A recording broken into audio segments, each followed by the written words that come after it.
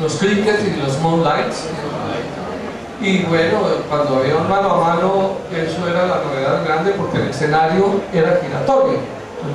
Estábamos tocando y el grupo que estaba atrás, digamos, eh, que eran los moonlights, eh, tocamos la última canción y se le avisaba a ellos y ellos empezaban a tocar. Entonces había una bullaranga en cierto momento mientras que se le daba la vuelta al escenario, terminábamos nosotros, nunca paraba la música y era en vivo. Ese fue uno de realmente los momentos más importantes. Después nosotros, eh, desde diciembre, inauguramos la discoteca Flipper Discoteca, las espaldas en la calle 59, que ya pues era un sitio donde no cabían sino unas 120 personas, pero las paredes sudaban, no se llenaba y se veía como realmente el sudor de la gente se, se reflejaba ese fue el momento más importante en cuanto al lanzamiento de un equipo, que es el comentario que hacía Juanito, y después vinieron, pues lógicamente, eh, las presentaciones que se realizaron en los parques, en los teatros. Esa era una época donde había mucho escenario para lanzar la música. Se alquilaba el teatro, eh, el teatro Lux, el de, las, el de las 63 arriba era... ¿ah? el imperio, pero ya en el 75 no había donde tocar, el medio estaba completamente deteriorado en ese aspecto, ¿no? Pero el, éxito de Flippers estuvo precisamente dado por Juventud Moderna, porque eran todos los jueves el programa nosotros yo hacía los arreglos a descubrir cantantes, hagan la cola y escuchemos y lancemos y por ahí pasaron todos los que eh, Juanito puede mencionar todas eh, las voces bellas, eh, solistas, Christopher, Alejandro, bueno, etc. Y tuvimos una gran eh, opción que fue tres años consecutivos de giras con una empresa eh, que lanzó un producto que se llamó London Group. Entonces nosotros estábamos activos con, con radio, activos con televisión, que era y activos tocando en todas las ciudades durante todo el tiempo este Jarry acondicionó una camioneta con una batería especial que eh, trasladaba la corriente a la corriente alterna y podíamos tocar la camioneta. Entonces entrábamos a los colegios a las 10 de la mañana a tocar rock and roll, eso era la locura. Pues el colegio de María Auxiliadora tocando a las 10 de la mañana rock and roll, llevando los cabellos, las mojitas, y así por todo Colombia. Manizales, San Selma, Pereira, Buga, Cali eso fue realmente lo que más le dio el talante al, grupo Flipper, como el grupo que además duró 10 años, 11 años, que estuvimos desde el 64 al 75, que fue lo que más lo caracterizó y le dio las bases sólidas como uno de los representantes del rock, con todo su repertorio y todo lo que pasó, eh, conciertos en el canódromo, conciertos en todas partes, y esa fue una historia así como... Realmente yo empecé a tocar porque amaba la música. Y fue tanto mi amor por la música que en un año que me dediqué a tocar, a tocar por oído, sacando discos porque no conocía qué era lo que estaba haciendo, de pronto con un libro que decía Do Mayor, etc.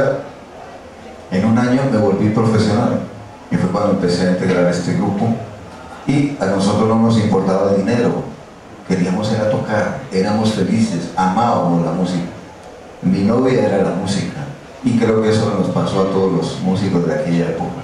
Fue el amor más grande por la música que creo que nunca se ha experimentado en, todo el mundo porque eso fue un movimiento mundial. Después de eso pues viene ya la debacle de la que habla Arturo y empiezan a acabarse las discotecas, los grupos y la bomba que fue un sitio muy importante que nos invitaba con alguna frecuencia, alternábamos con los Ampex Después se va Oscar Lasprilla en los últimos tiempos de los Ampex y me invitan a mí a reemplazarlo. Creo que fueron los últimos seis meses de vida del grupo Los Ampex y se empieza a diluir todo este movimiento que con gran nostalgia quedamos muchos músicos en aquella época y se convierte la bomba en algo que era lo contrario de lo que nosotros practicábamos, que se llama la tropibomba empiezan a traer labillos a los melódicos. Y para mí fue la época de mayor depresión musicalmente hablando porque pues, yo no yo era rock and rollero básicamente igual que Arturo. Y también amaba los Venturas y con todo eso empezamos los Beatles. Y viene un cambio fundamental, después de eso ya yo quedo en el aire y muchos músicos quedan en el aire y me veo involucrado en la música tropical que no me gustaba, para mí fue un sacrificio aprender a tocar eso, aunque tiene mucho valor y ahora lo reconozco, como cualquier música, porque el arte es arte. Pero en esa época, como joven, para mí era muy duro. Y, me encuentro con los hermanos Mondragón, con Jaime Mondragón, que es uno de los mejores guitarristas de Bossa Nova en Colombia, y el hermano eh, Luis Mondragón, uno de los buenos bateristas de ese género también en Colombia. Hacemos un grupo, paso una temporada aprendiendo a tocar bossa nova, algo de jazz con ellos. Después, eh, no sé si quieras que pasamos pasemos un poquito a los 71, porque es una transición. Entonces eh, aparece Jimmy Salcedo tocando en el Green Miramar, el dueño era Pedro Balaguer con un grupo que era importante en ese momento, pero no era muy conocido.